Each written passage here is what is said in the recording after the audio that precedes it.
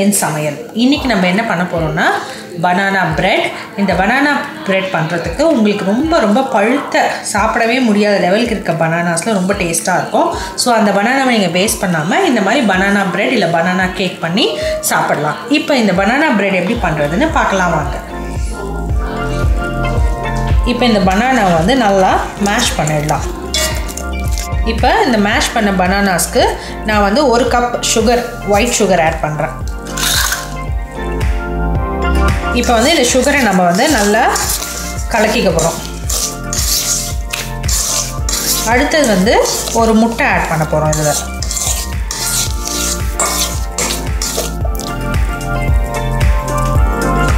இப்போ ஒரு முட்டை ஆட் பண்ணியிருக்கேன் அடுத்தது.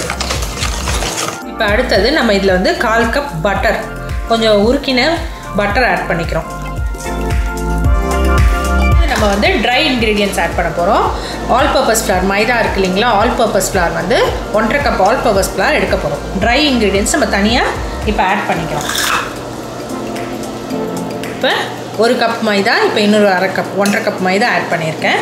இதுக்கு நம்ம வந்து பேக்கிங் சோடா ஆட் பண்ண போகிறோம் ஒரு டீஸ்பூன் வந்து பேக்கிங் சோடா இதுக்கு ஆட் பண்ணுறேன் இப்போ இந்த ட்ரை இன்க்ரீடியன்ஸை நல்லா மிக்ஸ் பண்ணிக்கணும். இதை நல்லா மிக்ஸ் பண்ணிவிட்டு நம்மளோட அந்த பேட்டரில் இதை ஆட் பண்ணிக்கலாம். நம்ம வந்து வாழைப்பழம் பட்டர்லாம் போட்டு ரெடி பண்ணி வச்சுருக்கோம் இல்லையா அந்த பேட்டரில் இப்போ இந்த பனானா ப்ரெட்டு தயாரிக்கிறதுக்கான இந்த மைதா மாவையும் இந்த பேக்கிங் சோடா கலந்த இந்த ட்ரை இன்க்ரீடியண்ட்டை அதோட ஆட் பண்ணிக்கணும் இதாவையும் பேக்கிங் சோடையும் ஆட் பண்ண இந்த மாவை வந்து நம்மளோட வெட் இன்க்ரீடியன்ஸோட ஆட் பண்ணி இப்போ நல்லா இதை கலந்துட்டோம்.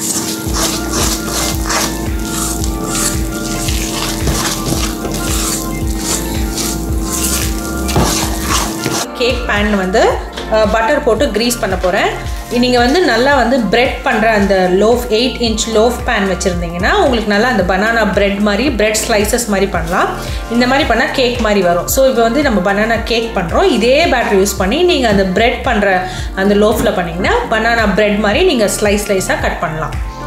இப்போ இந்த பேனை வந்து நான் க்ரீஸ் பண்ண போகிறோம் பட்டர் வச்சு ஃபுல்லாக வந்து நல்லா க்ரீஸ் பண்ணியாச்சு.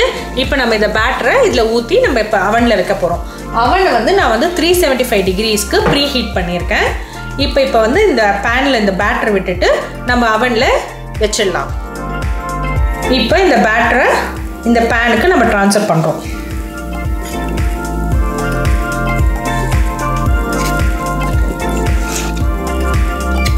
பேன் வந்து பேட்டர் ஃபில் பண்ணிட்டோம். எப்போவுமே பேனை வந்து ஹாஃபாக தான் ஃபில் பண்ணோம். ஏன்னா அதுக்கப்புறம் கேக் ரைஸ் ஆகும். அதனால் ஹாஃப் பேன் தான் ஃபில் பண்ணோம். அதோடு இல்லாமல் இதில் வந்து நீங்கள் என்ன பண்ணலான்னா கேஷ்யூ நட்ஸ் பாதாம் பிஸ்தா இந்த மாதிரி நட்ஸும் நீங்கள் கட் பண்ணி பொடி பொடியாக கட் பண்ணி போட்டிங்கன்னா சாப்பிடும்போது ரொம்ப டேஸ்டியாக இருக்கும். இன்றைக்கி நான் எந்த நட்ஸும் ஆட் பண்ணல. நீங்கள் நட்ஸ் ஆட் பண்ணியும் பண்ணலாம். இப்போ பார்த்தீங்கன்னா அவன் த்ரீ செவன்ட்டி ஃபைவ் டிகிரிஸ்க்கு நான் ப்ரீ ஹீட் பண்ணியிருக்கேன். ப்ரீ ஹீட் ஆகிடுச்சு இப்போ நம்ம வந்து இந்த கேக் பேட்டரை அவனில் வச்சுட்டு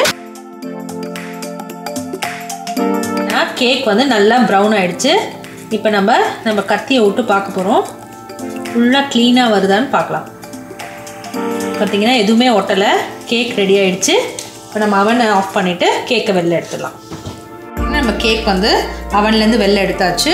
நல்லா ப்ரௌன் ஆகிருக்கு இப்போ நம்ம வந்து இதை கொஞ்சம் நேரம் ஆற விட்டுட்டு கட் பண்ணிடலாம்.